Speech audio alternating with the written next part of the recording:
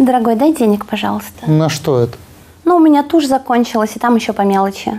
Сколько тебе надо? Ну, хотя бы тысячу гривен. Ничего себе, по мелочи. Знаешь, сколько сейчас косметика стоит? И знать не хочу, ходи не накрашенный. Ходи не накормленный. Нужно ли выпрашивать деньги у мужа? Нужно ли отдавать жене всю зарплату? Эти вопросы часто вносят раздор в отношения многих семейных пар. Как правильно сформировать семейный бюджет и при этом сохранить взаимное уважение? Поговорим в этом выпуске.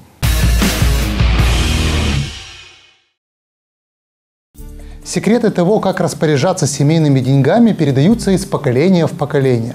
Вот только в разных семьях традиции разные.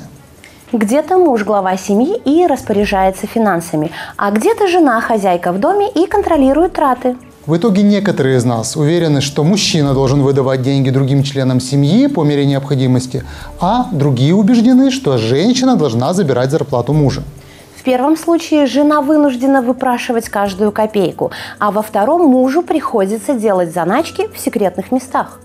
И то, и другое, согласитесь, унизительно. Дело в том, что все эти традиционные модели, кто кому выдает деньги, основаны на общепринятой раньше структуре семьи. Муж зарабатывает, жена ведет хозяйство. В современном мире чаще всего зарабатывают или имеют такую возможность оба супруга. Нередко случается, что жена даже зарабатывает больше, чем муж. И тогда современные реалии, накладываясь на старую традицию, создают еще одну любопытную модель распределения денег.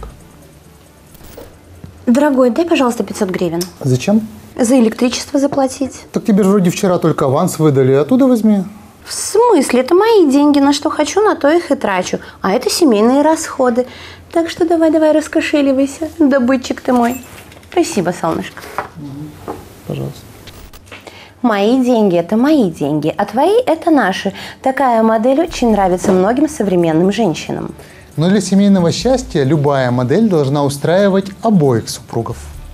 Если же кто-то из супругов видит несправедливость в выпрашивании или отдавании денег, то лучше применить паритетную модель семейного бюджета. Что это означает? Согласно этой модели, все деньги, поступающие в семью, считаются общими.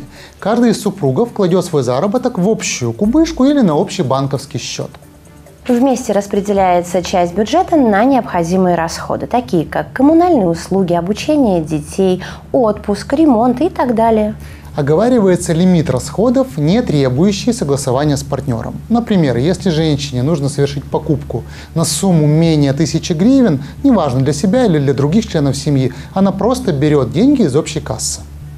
Если сумма превышает оговоренную, то стоит посоветоваться с супругом, не против ли он потратить эти деньги с этой целью.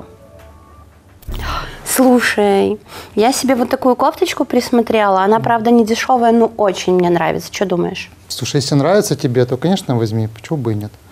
А я себе, смотри, такой вот спиннинг присмотрел. Правда, цена кусается. Глянь-ка. Я в них точно ничего не понимаю. Но если он тебе нужен и он того стоит, бери, конечно. Кстати, классные прихватки ты в кухню купила, забавные такие. А я заметила, что ты такую классную полочку для обуви купил. Я давно о такой мечтала. Спасибо тебе большое. В паритетной модели семейного бюджета отношения строятся на уважении друг к другу. Супруги признают друг в друге взрослых разумных людей, которые заинтересованы в процветании и благополучии семьи. Поэтому нет необходимости пристально контролировать супруга, не доверять ему, шарить по карманам и обвинять в чрезмерной расточительности. Если у вас часто возникают конфликты на почве денег, попробуйте применить эту модель в вашей семье. Проявите уважение и доверие к своему партнеру. И убедитесь, что он тоже уважает ваши желания и интересы.